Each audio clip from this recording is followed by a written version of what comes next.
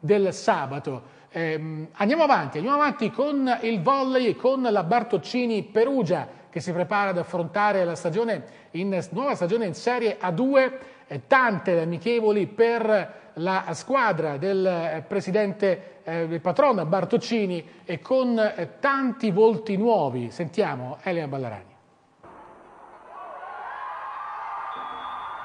Saranno sei i test match che disputerà durante questo mese la Bartoccini Gioiellerie Perugia, la squadra neopromossa nel campionato nazionale di volley di Serie A2 femminile che comincerà il prossimo 8 ottobre. Martedì 12 alle 19 le ragazze di Fabio Bovari presso il Pale Evangelisti affronteranno il San Giustino. Venerdì 15 alle 17 giocheranno a Pesaro. Mercoledì 20 alle 19 saranno al Palachemon di San Giustino e ancora sabato 23 alle 17 a San Marignano. Martedì 26 alle 19 a Ravenna e infine sabato 30 alle 17 si cimenteranno in casa di nuovo contro Ravenna. Nel frattempo si sta chiudendo la seconda settimana di allenamenti.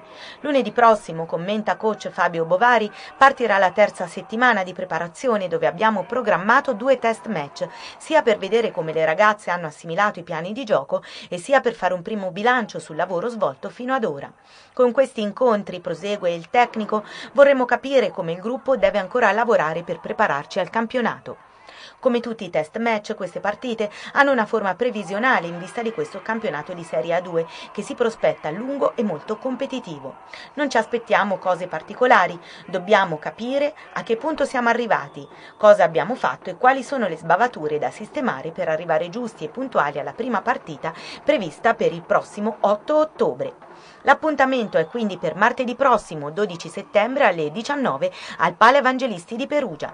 Il primo avversario delle magliette nere sarà il